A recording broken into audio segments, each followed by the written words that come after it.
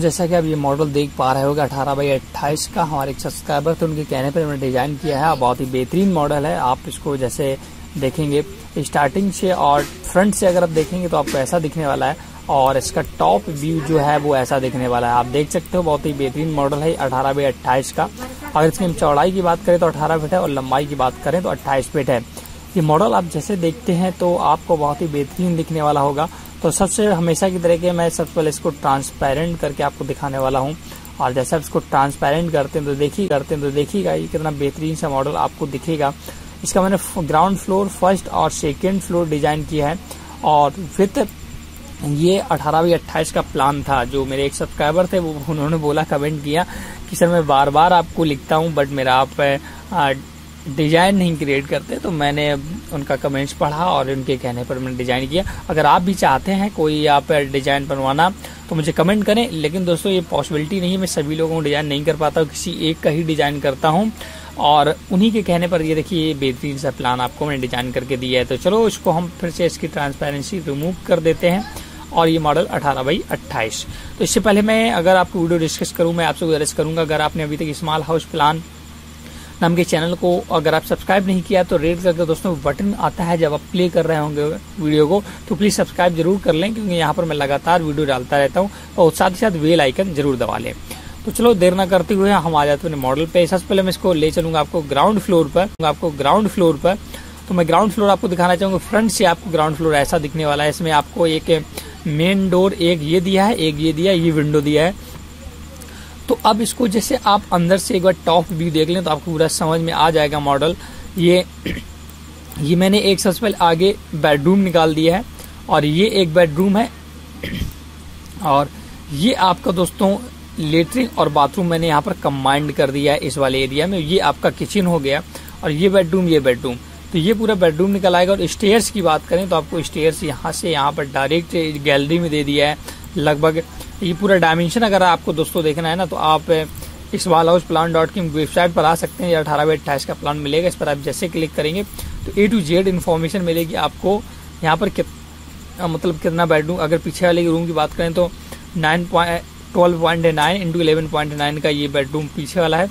और अगर आगे वाली बात करें तो नाइन पॉइंट नाइन और ये पूरा भी 9.9 का आपको मिल जाता है। मतलब टेन बाई 10 का रूम है अप्रॉक्स ये 12 बाई 11 13 का रूम है अप्रॉक्स ठीक है?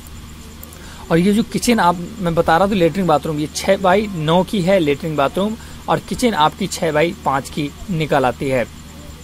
और ये आपका टोटल एरिया साढ़े सात फीट सात फीट आठ इंच है, जिसमें कि आप लगभग तीन फीट का ये चौड़ाई का आप स्टेयर्स निकाल देंगे, तब भी आपके पास चार फीट की गैलरी बची रहेगी। तो पूरा आप देख सकते हो, यहाँ पर भी मॉडल टू मॉडल भी मैंने डिस्कस किया।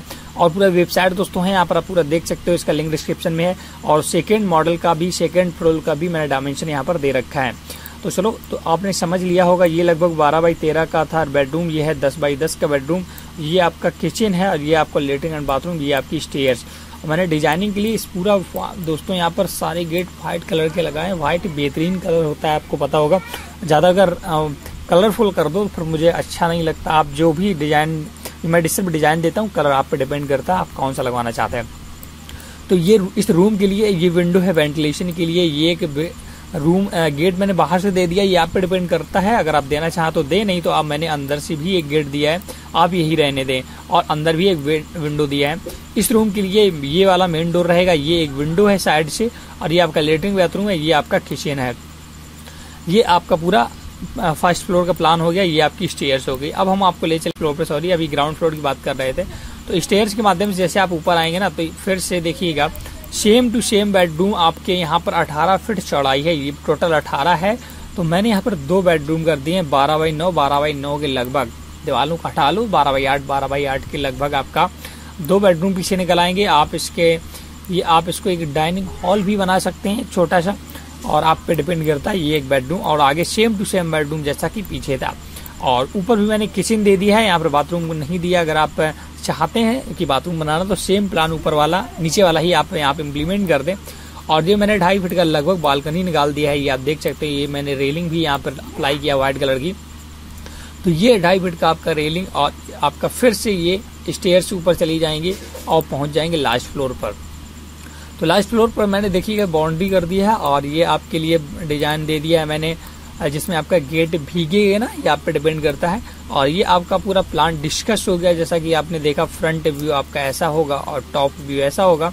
और ये आपका पूरा बहुत अच्छा मॉडल है दोस्तों डिज़ाइन बहुत बेहतरीन बना है। और इसको प्लीज़ लाइक और शेयर ज़रूर करा, करें। आप लाइक नहीं करते हैं दोस्तों मेरा एक ट्विटर हैंडल का अकाउंट है, जिसका लिंक मैंने डिस्क्रिप्शन में दिया प्लीज़ इसको फॉलो कर लें। और साथ ही साथ हमारा एक फेसबुक पेज भी है दोस्तों। उसका भी लिंक डिस्क्रिप्शन में दिया है, उसको भी आप फॉलो ज़रूर करें, क्योंकि वहाँ पर भी मैं होम डिज़ाइनिंग से लगातार अपडेट देता रहता हूँ। घर में प्लम्बरिंग कैसे करनी है आपको, या पाइपलाइन कैसे बिछानी है, टंकी कैसे रखनी सारी डिटेल मैं वहाँ पर लाइव करके दिखाता हूँ। तो प्लीज़ उसको पेज को ज़रूर फॉलो करें। और इस वीडियो को लाइक शेयर ज़रूर करें। अगर आपका कोई भी डाउट रह जाता है इस मॉडल के प्रति तो मुझे कमेंट करके बता सकते हैं। आपका सजेशन ज़रूर मानूँगा।